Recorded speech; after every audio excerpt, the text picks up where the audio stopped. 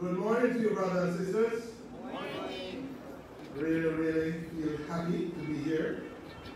Uh, seven weeks plus two weeks quarantine. that seems a very, very long time. But I'm really rejoicing that I'm able to be here. I had a wonderful time um, abroad, and I was given the opportunity, and I think privilege also bringing the word to two different congregations. And um, based on the response, they were blessed. So all honor and glory to Jesus Christ. But what blessed my heart most of all while I was away happened yesterday. I was in Mandeville with some church folks.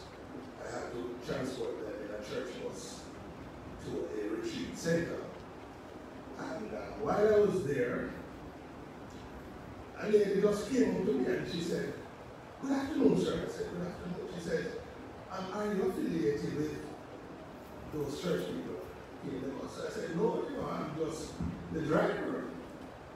So, but what she said next really brought a smile on my face. So she said, um, Don't you think it's time that you accept Jesus Christ? I said, No, that's it. And that really warmed my heart. Yes. To know that persons are still out there really doing the work of an evangelist, reminding persons that they need to accept Jesus Christ in their lives. So, you know, um, I, I, I, thought about it. You know, I, I thought first of all to, to ask her, why should I accept Jesus Christ? I want the work to be hard. So I just told her that no, and I have accepted it, and I'm preaching also. And she said, oh, amen, hallelujah. So that was it. But brothers and sisters, when we look in our society today, one of the things we realize is that men, most of all, you know, including women but men are really hostile against the things of God. And let me say, humanity. The majority of humanity is hostile against the things of God. So when you mention God to them, they will come up with all kinds of responses that they don't think that they should have. Some persons, they go as far as to say, there is a God. I am my own man, my own woman. I am free to do whatever I please. And it, it, it is really disheartening. Some persons you will hear they, they say that, well, I've never stolen anything, I've never told a lie, know, I don't kill anybody, and I'm, I'm a God-fearing person. So I, think I'm okay. they, they don't see why they should really invite Jesus Christ in their lives. But brothers and sisters, I'm here to share with you all, and I should say a very warm welcome to those who are viewing us via Facebook and, um, and YouTube, that we must realize, brothers and sisters, and, we quote the scripture all the way that there's a way that seems right unto a man. But if you look at man's record, it always ends in death. No matter how you package it and repackage it, it always ends in death. In the international news, if you tune in on a daily basis, you just hear about wars and devastating results to both inhabitants and the creation itself. Try as mankind as they may, they just cannot find peace. They go to a round here and they try to come up with all kinds of ways to garner peace among warring nations. But most of the times when you hear they say that we have arrived at a truce, it is just on paper. So what we find out is that when mankind try to initiate peace, it is always because blood is being shed. And it is always the blood of their enemies, so called. But I'm here to tell you, friends, that the man Jesus Christ, Yeshua, who came on this earth, the scripture tells us that in the beginning, the Word became flesh, and that Word was, is, and always will be. So he is God. Jesus Christ put on flesh, came here on earth, so that he could redeem mankind. So what he did order for us to experience peace, instead of killing off the enemies, he shed his own blood. The total opposite to what man is trying to do to attain peace. So for man to have peace, he goes to war and he, he browbeats you down. And you have to surrender. And they call that peace. But Jesus Christ shed his own blood, paying the penalty for all sins, so that all the hostilities that were there could be wiped away, so that his love, which has been shed abroad in our hearts, is what is keeping us going on at this time. If you turn to Isaiah chapter 59, we will just read a verse. Isaiah 59 and verse 8. And it tells you the state of mankind. Okay, there. Isaiah 59 and verse 8. The prophet says, The way of peace they do not know. There is no justice in their paths. They have turned them into crooked roads. No one who walks along them will know peace. Let me read it again. The way of peace they do not know. There is no justice in their paths. They have turned them into crooked roads. No one who walks along them will know peace.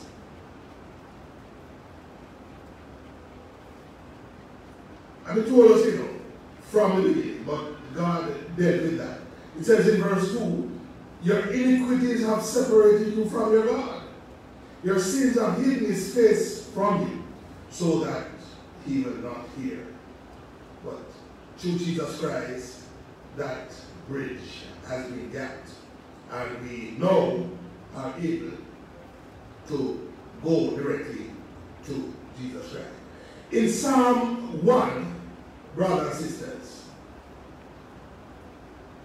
it tells us here that we who know Jesus Christ has been transformed. And it says in Psalm 1 verse 1, Blessed is the one who does not walk in step with the wicked, or stand in the way that sinners take, or sit in the company of mockers. But see what their delight is. But whose delight is in the law of the Lord, and who meditates on his law day and night. Verse 3 That person is like a tree planted by streams of water, which yields its fruit in season, and whose leaf does not wither, and whatever they do prospers. That is really what we want the society out there to understand.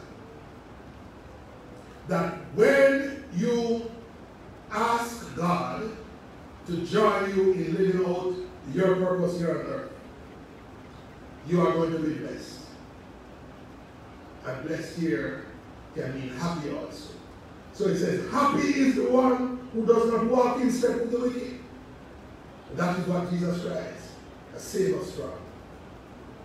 Because it continues in verse 4. It says, Not so the wicked. They are like chaff that the wind blows away. Therefore the, wicked will not stand in the judgment, nor sinners in the assembly of the righteous. For the Lord watches over the way of the righteous, but the way of the wicked leads to destruction. But the scripture tells us here that Jesus Christ came here on earth not to condemn, but to save. So I'm here to remind us, brothers and sisters, that the gospel that we were asked to proclaim is not a gospel of doom. It's a gospel about a good news. And good news that we who weren't a people once upon a time, Jesus Christ through his shed blood has now made us a people. And we can now become children of God. Amen? So our focus, you know, I, I hear people complaining all the while that the only thing they hear us preaching about is the love of God. We're not talking about sin. We don't need to talk about sin, brothers and sisters. Us as human beings, we were formed in sin and we were shaped in iniquity. Every single human being knows what sin is. Because God has made us with a conscience. We know that we should not sin. We know that we should not lie. Because we have seen what happens when we do all of those stuff. What we do not know is that God loves us no matter what condition we're in. And that is why we need to be telling people this good news. God is not concerned with our past lives because he has dealt with that already. That is why he sent Jesus Christ here in the flesh to conquer sin for us so that in him we may truly live a life that is fulfilled, that is going to lead to our eternity. And you know, one of the things I hear some people say too is that, you know, when we talk about, um, you know, we, we know that we are saved now. You know, we, we, we kind I say by saying, you know, it's, it's an assurance that we have of our salvation. And it's like some people say, no, because you don't know that you are saved until Jesus Christ comes. But I don't think my God would really put my mind in that frame where I would be on needles every single day. Don't really know if I am saved or not. Because the Apostle Paul tells us that there's no, no condemnation for those who are in Christ Jesus. You know, once you accept Jesus Christ as your Lord and Savior, you know your position. No. It is impossible for us to save ourselves, but Jesus Christ says, with us that's an impossibility, but with God that is possible. And God has done that. So we need to let people understand, brothers and sisters, that Jesus Christ is our peace. That's the title of the message today. Jesus Christ is our peace. One of our past international musicians, Peter Tosh, he coined some words. And when he looked at society, he was saying that he doesn't want the peace that the world has to offer. What we would rather have is equal rights and justice. So the peace that mankind tries to broker by killing off one another, there is no equal rights and justice aligned to that kind of peace. But with the peace that Jesus Christ offered to us, there's always equal rights and justice. Because the scripture reminds us that God is no respecter of persons. God does not look at us based on the, the, the accolades that we have gotten. You know, I remember once I went, I think it was Maureen's graduation, or nursing graduation, and the, the keynote speaker came and before he came they introduced him. And I timed it. It took 10 minutes for them to introduce him because he was doctor of so and so and all different kinds of accolades. the amount of things that he had achieved in life. And yet when people talk about Jesus Christ, it's as if he's just mere person. But we know, brothers and sisters, that Jesus Christ, the Son of God, he is our elder brother. He's our high priest. He's our soon coming king. He is the perfect sacrifice for us. He is the one who has broken every single chain that the enemy has tried to put in our way. And that is why we can live a life of rejoicing. That is why, brothers and sisters, we can hold our heads up high. And we do not have to walk with our heads slumped down. You know, brothers and sisters, um, I, I, when I was coming back, I had um, a piece of equipment, I worth a thousand dollars US. And you know, the, the Satan was saying, man. You know, that's not the you know what, you know. And um, I tried, and going to confess, I tried all different kinds of ways, but it's like the Spirit was saying, you know, see, that doesn't mean not very fine.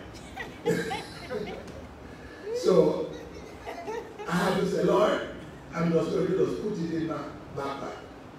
And allow the chip to fall where they I wouldn't believe me, brothers and sisters, that when I came to Norman Manley Airport, and um, I decided that I was going into the green line, I'm going into the red line that says you have things to declare. So I went into the red line, and when I went up to the, the custom officer, the first thing I realized was that she was left-handed.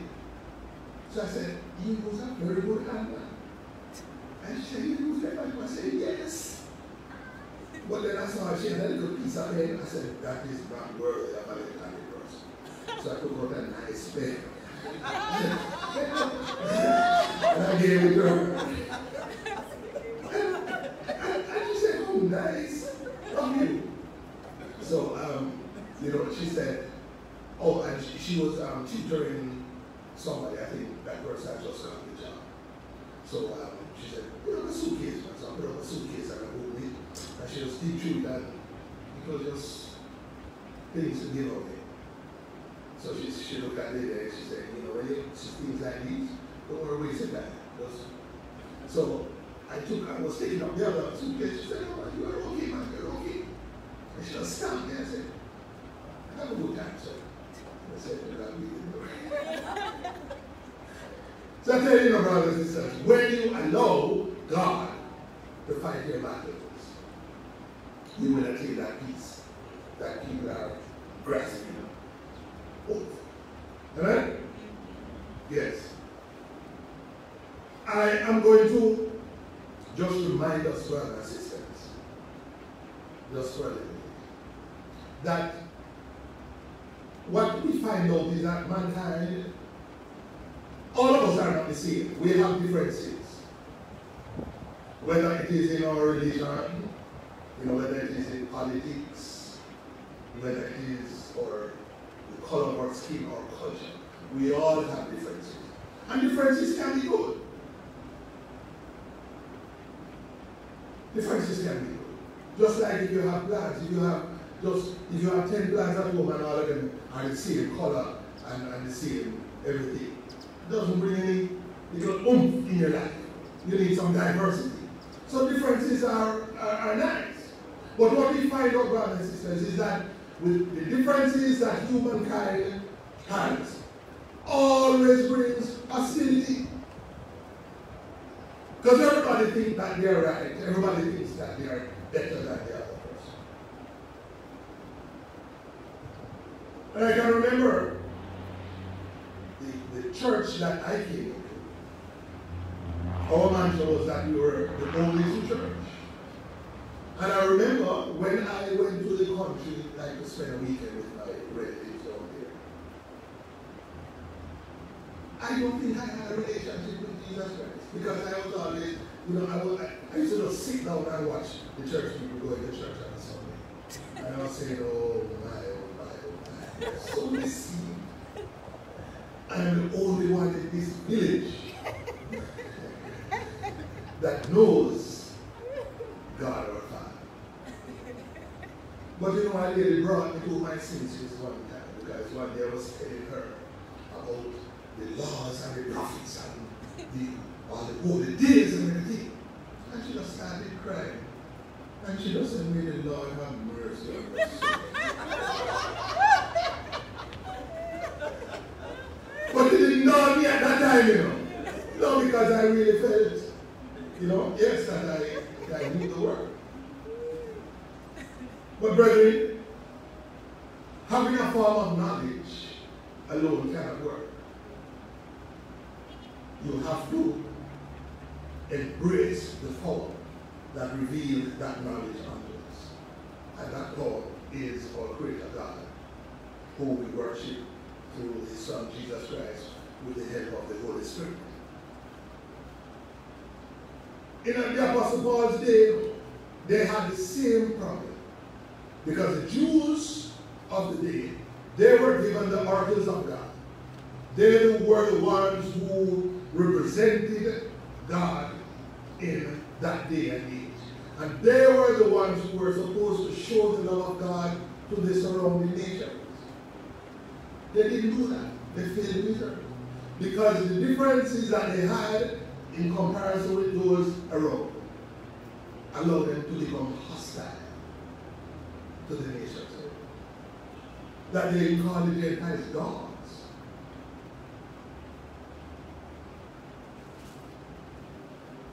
So Paul had to address those things to let them realize that Jesus Christ is doing a new thing. Because what they used to pride themselves about, that they were the circumcised, they didn't realize that that circumcision was just by human hands. You just took a knife and cut off the foreskin of, of the male um, private parts. And that made him circumcised. So that was just a ceremony. What God wants to do is to circumcise our hearts spiritually. And no physical happening can do that. So we are going to turn to Ephesians chapter 2, and we are going to go into the mind of the Apostle Paul to see if there are any relevance here for us. Because Paul wanted both Jew and Gentile to realize that Jesus Christ is our peace. We're going to start from verse 1. He says, As for you, he was talking to the Gentiles this time. He says, You were dead in your transgressions and sin in which you used to live when you followed the ways of this world and of the ruler of the kingdom of the air. The spirit who is now at work in those who are disobedient. And he says something very profound here in verse 3. He says, All of us, whether we were Jew, whether we were prophets, whether we spoke in tongues, he says, All of us also lived among them at one time, gratifying the cravings of our flesh and following its desires and thoughts. So we have nothing to boast about because of and by ourselves, the transformation that has taken place was not done by us, was done by the Holy Spirit. Amen? So it says, all of us, verse 3, also lived among them at one time, gratifying the cravings of our flesh and following its desires and thoughts. Like the rest, we were by nature deserving of wrath. All have sinned and come short of the glory of God. But because of his love, not just any kind of love, just because of his great love for us, God who is rich in mercy made us alive Christ, even when we were dead in transgressions. And he says, it is by grace that we all have been saved. So if we, if we, even as Christians here now, if we are looking down at other Christians because they are not of the same denomination. Their theology may be a little different, although they have accepted Jesus Christ as their Lord and Savior. What Paul here is reminding us is that Jesus Christ has made all of us alive. It doesn't, matter whether you're a Baptist, you're a Catholic, you're a Pentecostal. But because of certain differences, we think that we have no relationship with, with Jesus Christ. I remember once year I was conducting a funeral, and a lady here came and um, before we had that name change, she came and she looked at the program and she said, um, are you a pastor here? I said, yes. She says, um, I see the name Church of God. You know, um, are you a Holy Ghost church? So I said, what do you mean by that? and she said, I will feel the Holy Ghost. And I said, yes, because that's a promise that was made to us. That when we accept Jesus Christ as our Lord and Savior, then we will be filled with the Holy Spirit. So we all have the Holy Spirit. So she said, that, that I mean, man. You get the extra outpouring of the Spirit.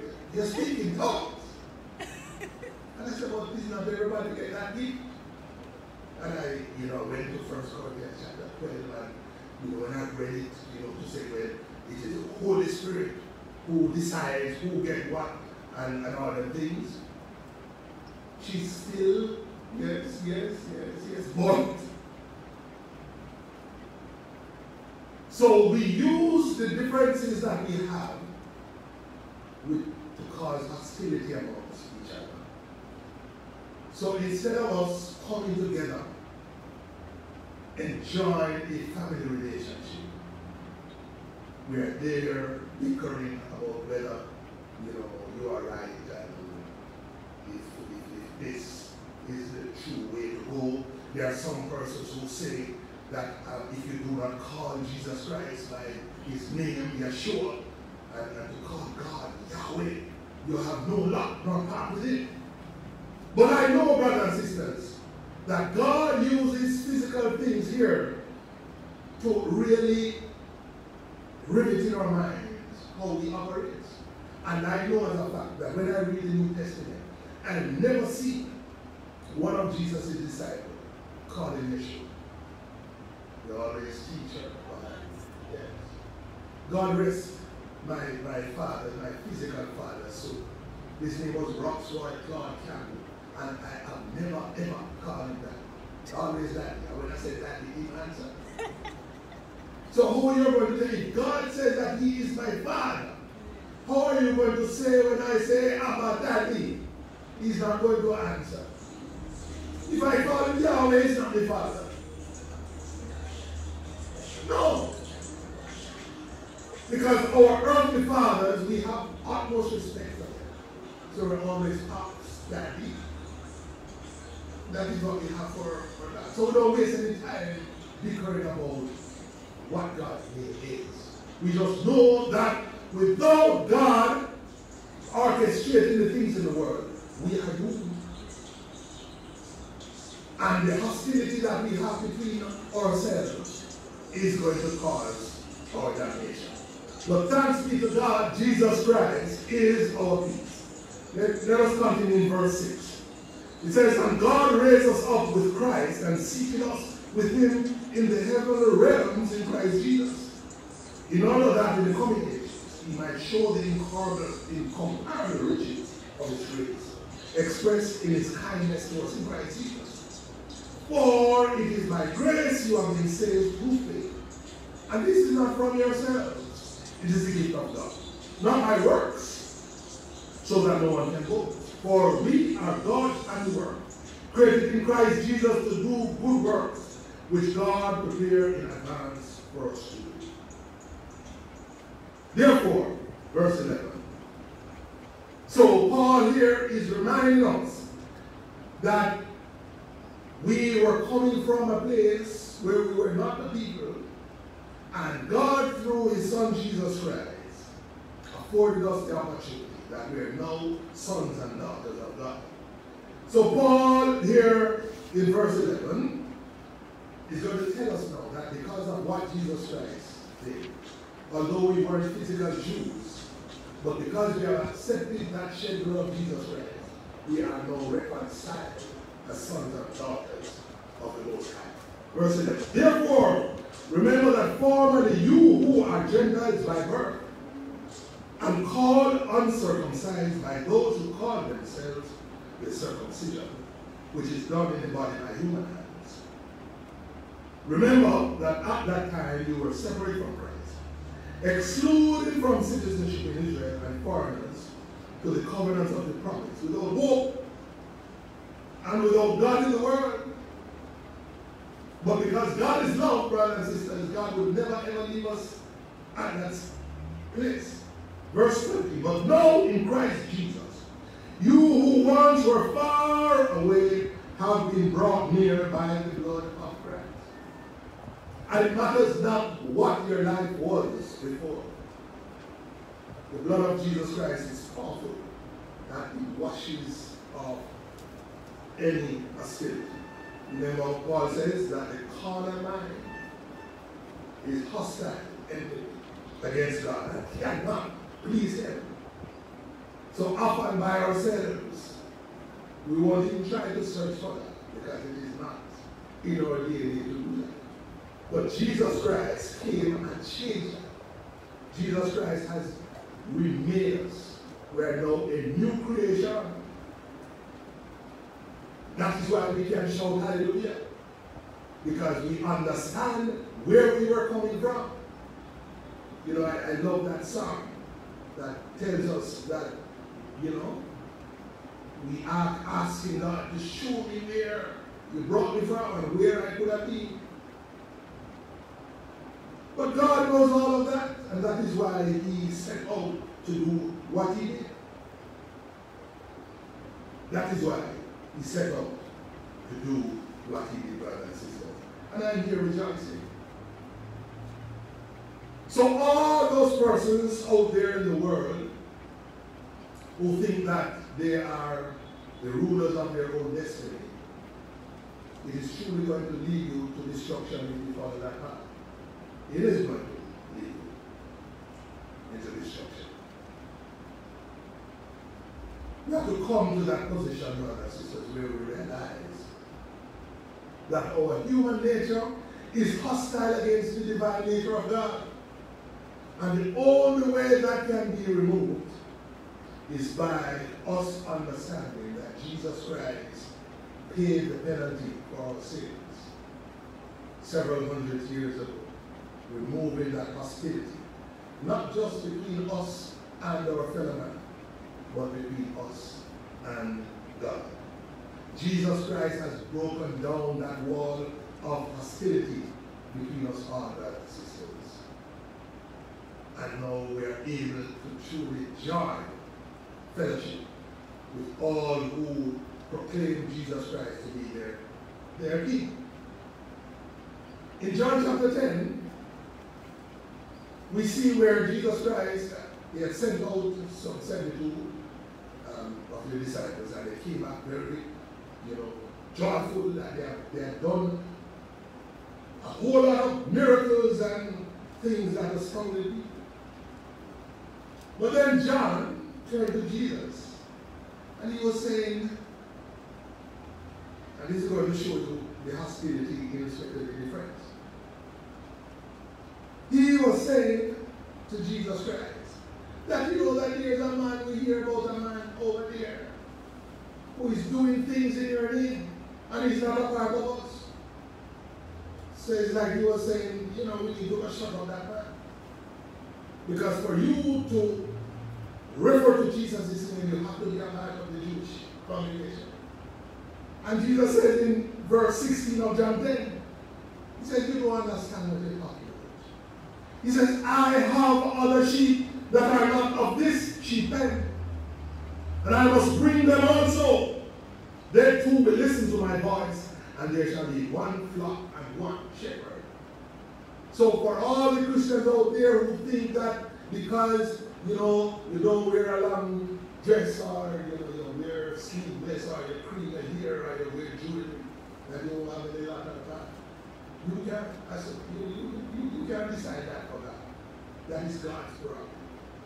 God says, I will have mercy on who I choose to have mercy. And I will have compassion on who I choose to have compassion on. Your job is to go forth, preach the gospel, baptize people, telling them of the goodness of God. That is our job. And that is why he did not give us the book of life. Because that is not our job. No, that is not our job.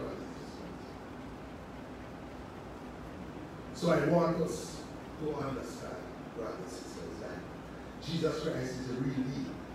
As I said earlier on, man tries to broker peace by declaring war upon his enemies.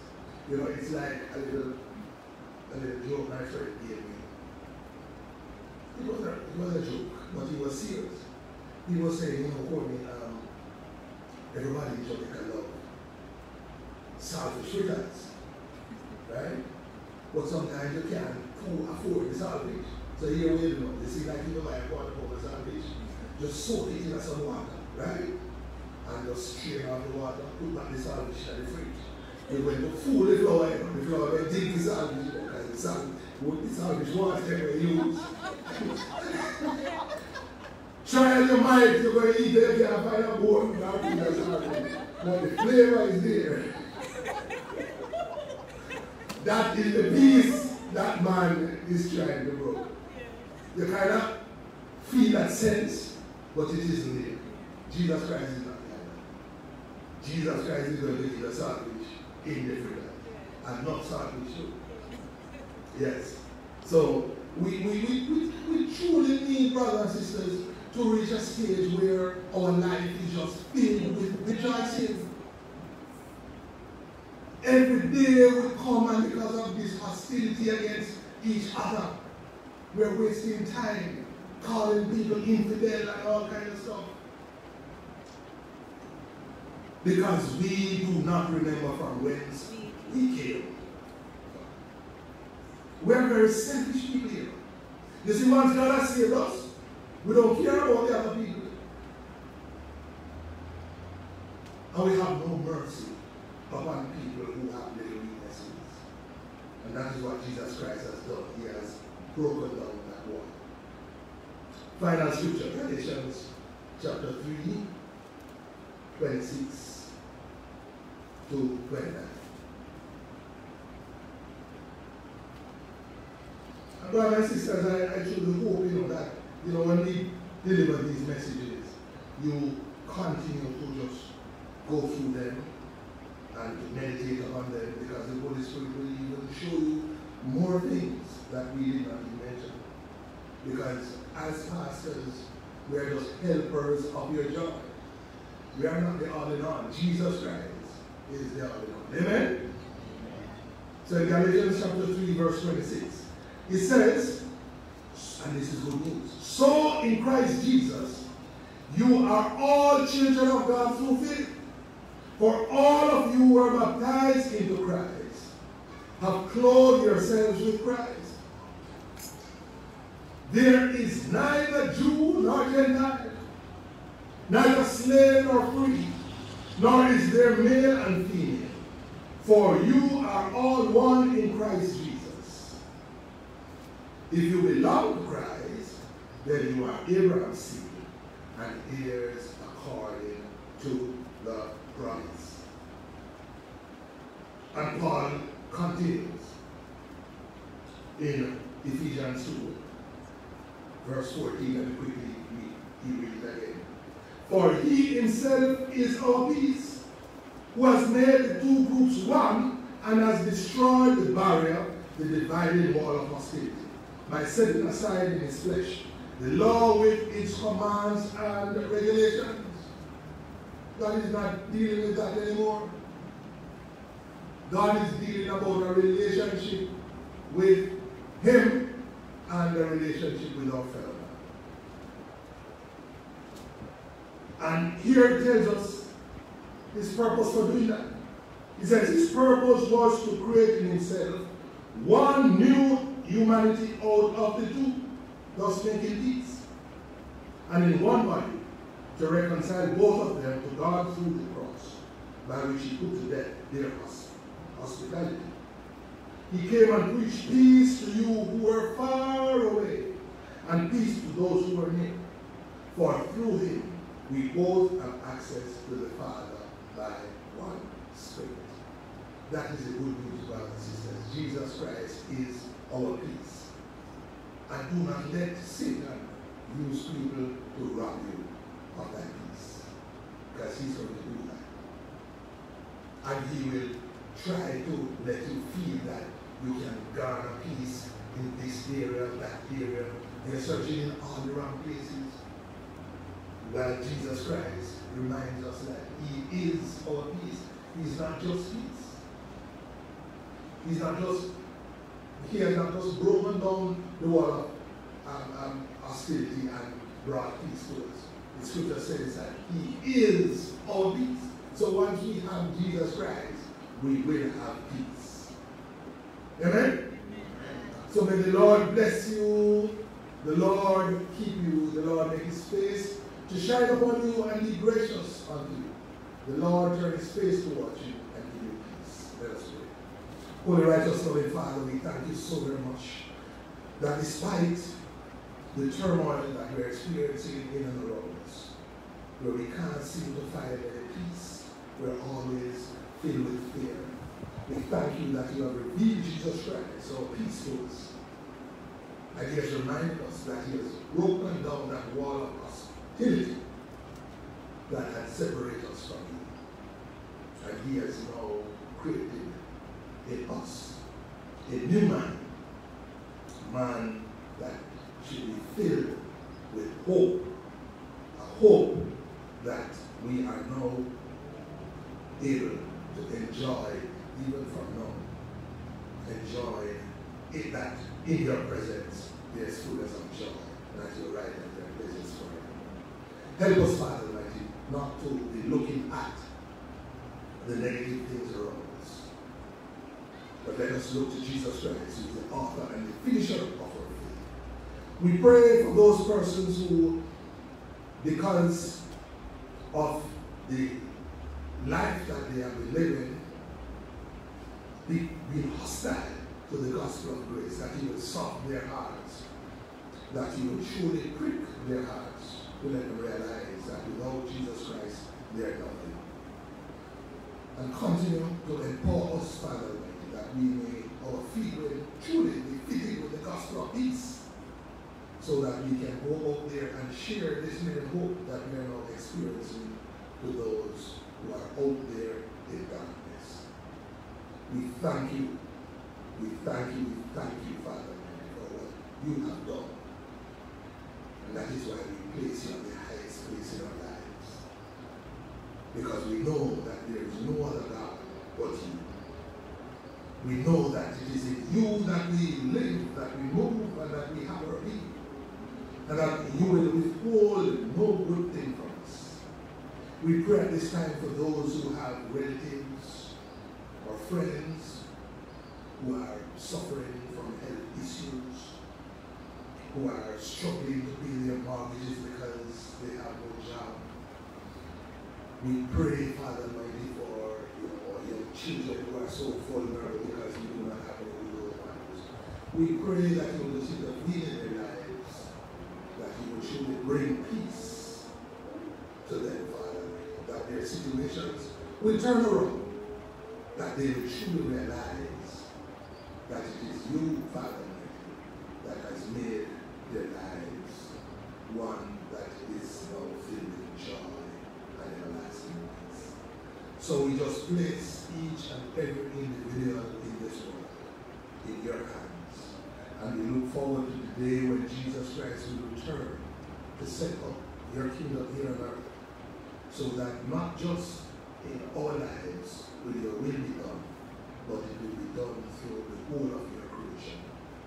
We look forward to that day rejoicing because we know that it is done already.